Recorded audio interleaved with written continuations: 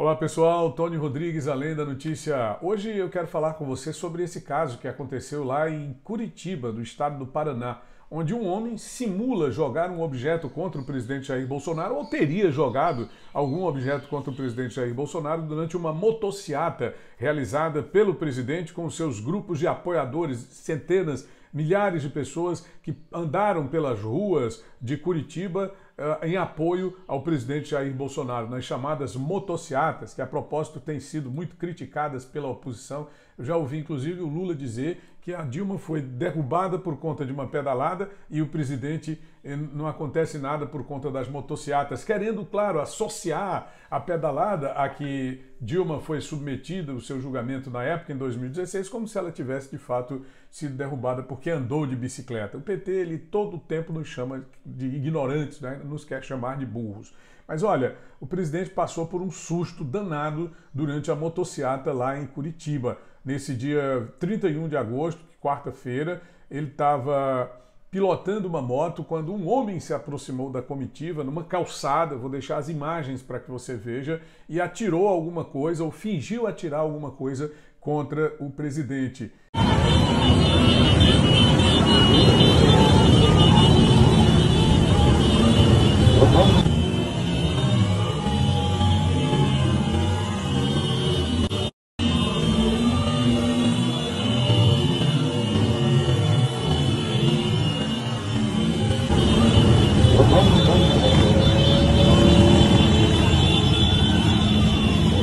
Aí volta de novo a discussão, o vídeo ele circula nas redes sociais, eh, foi é, divulgado em primeira mão pelo site Metrópolis, mas volta de novo esse questionamento, tá? De que a segurança do presidente Jair Bolsonaro, ela é muito difícil de ser feita. Isso por conta mesmo das suas próprias atitudes e por que o, o o presidente tem que se submeter a riscos quando ele, como qualquer cidadão, tem o direito também de fazer campanha política. Veja bem, no ano de 2018, faltando poucos dias para a eleição, em primeiro turno, o presidente foi atacado por uma facada.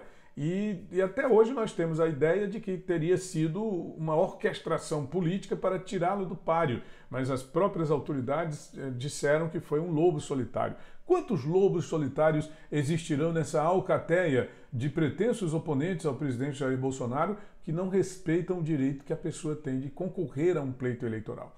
Bom, o presidente cumpriu uma agenda intensa em Curitiba, onde ele participou da motociata, participou de encontro com líderes políticos, com líderes evangélicos, participou de um comício eleitoral gigantesco no centro da capital paranaense. E no seu discurso, ele falou para centenas de milhares de apoiadores, disse que o falou, né, criticou duramente o presidiário temporariamente em liberdade, Luiz Inácio Lula da Silva, de que ele quer voltar à cena do crime, mas que isso não vai acontecer.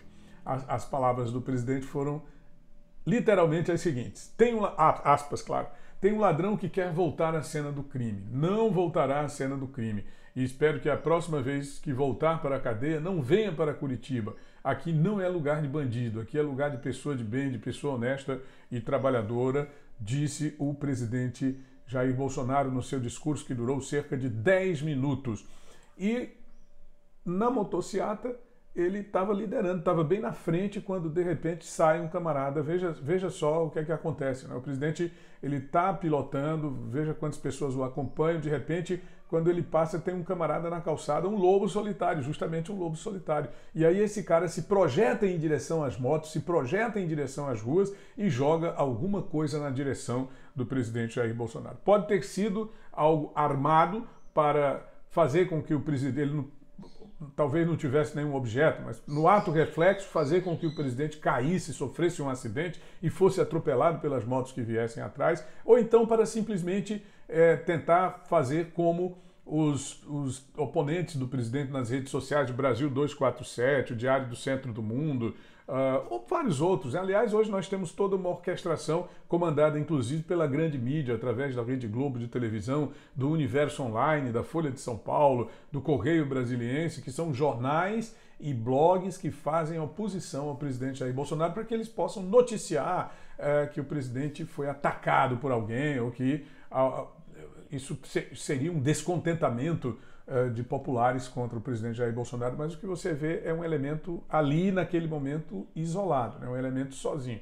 Por trás dele pode haver alguém. Nós já tivemos um caso lá em Manaus, quando um, um indivíduo foi preso é, porque estava com uma faca em punho exatamente no local por onde passaria o presidente da República. Então, são fatos que estão acontecendo, talvez não, não tenham uh, esse, todo esse isolamento, né? toda essa solidão que se tenta atribuir a estes elementos. Por trás deles pode haver alguém. Mas eu queria também chamar a atenção dos nossos espectadores para essa foto, tá? Essa foto que eu vou colocar agora aqui no vídeo, veja só aí, é uma foto do comício realizado por Lula em Manaus, lá no estado do Amazonas. É, acho que essa imagem de estudo, ali você vê uma centena, talvez, um pouco mais de pessoas no comício do, do presidiário temporariamente em liberdade.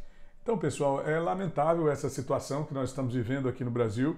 Um candidato a presidente não pode fazer, sendo o presidente Jair Bolsonaro, não pode fazer a sua campanha eleitoral é, sem o risco de ser atacado pelos seus adversários, estrategicamente posicionados na rota de passagem do presidente.